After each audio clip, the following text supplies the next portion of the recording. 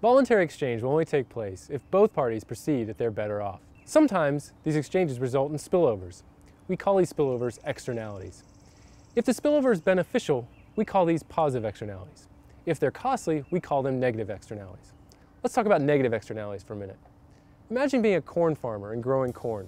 What are the private costs that you face that help you determine how many ears of corn to grow? Things like fuel, seed, fertilizer. These are your private costs. But it turns out that every spring and summer, when you lay down the fertilizer, some of this flows into the stream nearby and flows into a lake downstream, oftentimes resulting in large fish kills. All those downstream, the fishermen, the recreationists, and the landowners, all incur a negative externality. There are three broad categories of ways in which we can address these externalities. The first is taxation, the second, regulation, and the third is by using property rights and the Coase theorem. Let's talk about these individually. First, taxation. Economist A.C. Pigou first suggested that we could impose a tax on the producer that would reduce the amount of production of whatever good is that's producing the negative externality. The benefit of this, of course, is that we would reduce the amount of negative externality being imposed downstream. However, the difficulty is monitoring. It's difficult to know exactly how much fertilizer is being laid out in our example, or how much pollution is being emitted from various point sources, and so the monitoring costs are quite high. The second way that we can address externalities is through regulation. There are many examples, let me name two. One is through technology-specific methods. This is where the government requires producers to use a certain technology to reduce pollution or emissions. The benefit is that monitoring costs are quite low. You don't need to have somebody out there constantly monitoring the amount of emissions because you know that technology is present and working. The downside is that it reduces the incentive for firms to find innovative ways to further reduce their emissions. The second of these regulatory methods is by simply restricting the quantity produced, either of the output or of the pollution being produced through production. The benefit of this, of course, is that now firms have reason to find innovative ways to reduce the pollution. The difficulty is that the monitoring costs are quite high.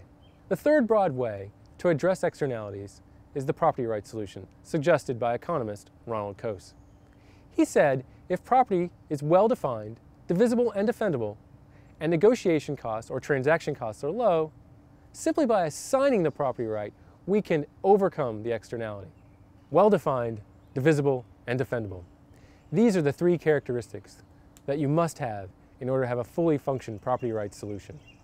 Well defined. What is the object over which the owner has rights? In what manner may this owner exercise his or her rights? Divisible.